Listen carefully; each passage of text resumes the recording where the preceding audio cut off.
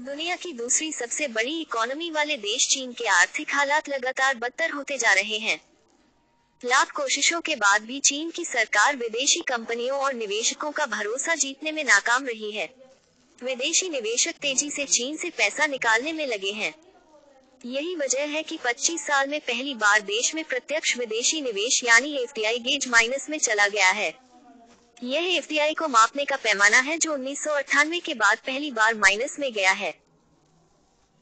सरकारी आंकड़ों के मुताबिक तीसरी तिमाही में डायरेक्ट इन्वेस्टमेंट लाइबिलिटीज माइनस ग्यारह दशमलव आठ अरब डॉलर रही जो पिछले साल समान तिमाही में चौदह दशमलव एक अरब डॉलर रही थी।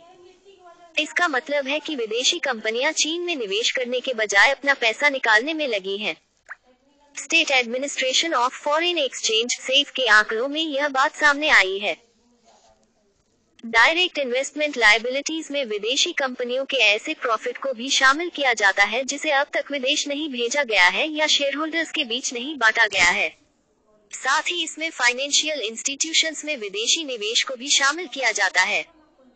चीन में एफ़ की था बताने वाले पैमाने में भी साल के पहले नौ महीने में आठ दशमलव चार परसेंट गिरावट आई है। पहले आठ महीने में ये पाँच दशमलव एक परसेंट थी। चीन और अमेरिका में तनाव। चीन की इकोनॉमी को कई मोर्चों पर चुनौतियों का सामना करना पड़ रहा है। साथ ही चीन और अमेरिका के बीच लंबे समय से तनातनी चल रही है। इससे विदेशी निवेशक और कंपनियाँ बुरी तरह घबराई हुई हैं और वहाँ से अपना पैसा निकाल रही हैं।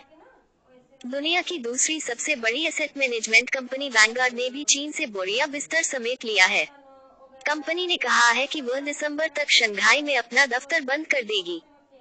कंपनी ने चीन में अपने जॉइंट वेंचर की हिस्सेदारी स्थानीय कंपनी को बेच दी है। इकोनॉमी में जान फूकने के सरकार के सारे प्रयास नाकाम हुए हैं। पिछले महीने सरकार ने एक अरब डॉलर का सॉवरेन बॉन्ड मंजूर किया था। इसका इस्तेमाल मुख्य रूप से इंफ्रा प्रोजेक्ट्स को फंड करने के लिए किया जाएगा। सितंबर में सरकार ने देश के दो सबसे बड़े शहरों, बीजिंग और शंघाई में कैपिटल कंट्रोल में भी ढील देने की घोषणा की थी ताकि विदेशी निवेशक आसानी से देश से अपना पैसा ला सके और ले जा सके। चीन के प्रमुख बैंक ने भी विदेशी निवेशकों की चिंताओं को दूर करने के लिए कई टॉप वेस्टर्न कंपनियों से बात की है। लेकिन विदेशी कंपनियाँ इस बात से घबराई हुई हैं कि चीन की सरकार ने उनकी निगरानी बढ़ा दी है।